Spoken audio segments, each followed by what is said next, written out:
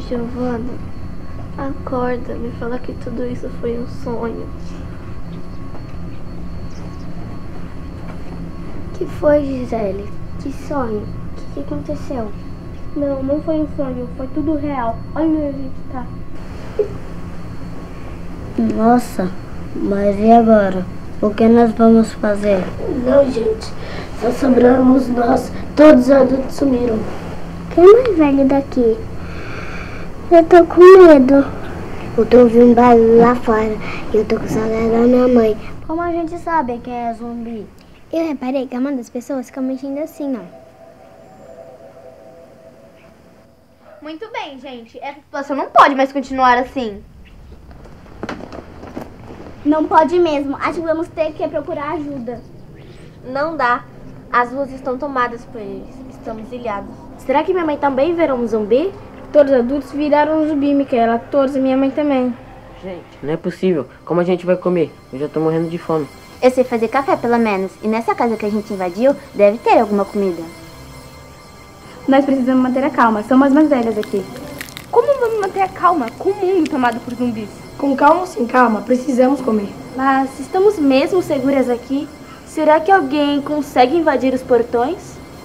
Adele, você conseguiu contato com a sua mãe? Eu consegui, só que o sinal de todo o celular caiu. Então eu não consigo mais falar com ela. Então não foram todos adultos?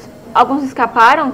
Ainda não temos essa informação com precisão. O que sabemos é, estamos ilhados e os zumbis fazem isso com as mãos.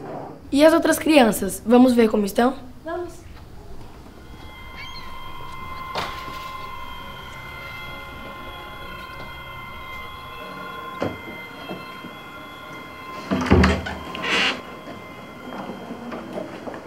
Estão todos bem?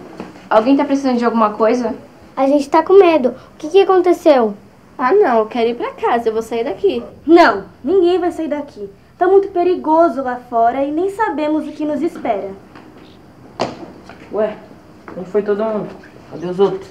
E nós vamos ficar aqui, eu vou sair e é agora. Não, não faça isso. Vai ser muito perigoso. Vai colocar a vida da gente em risco. Todo esse barulho lá fora parece que tudo já está normal. Não tá normal, gente. Não tá. Eu tô com muito medo. Pessoal, não precisa ficar com medo. Nós vamos fazer a comida aqui e tudo vai ficar certo. Mas a gente vai ficar aqui? Ninguém vai tentar sair? Vamos tentar comunicar com alguém lá de fora. Gente, estão batendo no portão. E se for alguém vindo nos salvar?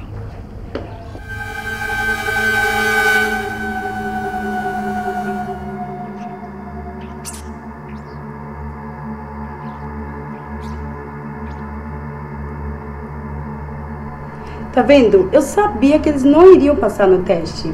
Vamos ter que procurar outra maneira para treinar essas crianças. Eu sei que é maldade, mas essas crianças precisam aprender a se virar sozinhas. Bom, mas eles não passaram. Não conseguiram ficar nem duas horas sem nós. Qual vai ser o próximo teste agora? Deixá-los presidentes de um supermercado? Hum, isso é uma boa ideia.